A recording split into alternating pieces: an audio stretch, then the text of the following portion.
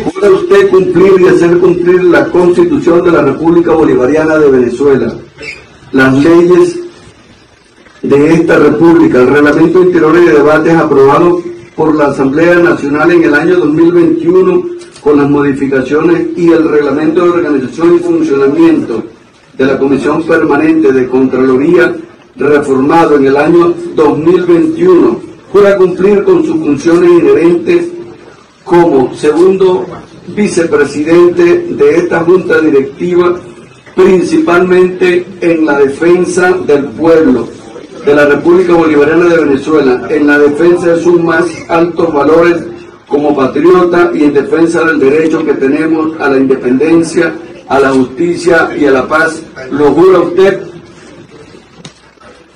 Como decían nuestros indios caribe, Ana Karina Rote, Aunicón Paparoto, Mantoro y Toto Manto. Nosotros somos la gente, nosotros somos el pueblo. Nadie se rinde, aquí no hay cobardes, esta tierra es nuestra. Lo juro por mi patria, por mi pueblo, por el legado eterno del comandante Chávez, que trabajaré de forma incansable para defender el bienestar social que tanto nos ha costado ganar para nuestro amado pueblo de Venezuela. Lo juro por mis hijos, por mi patria, por la familia venezolana.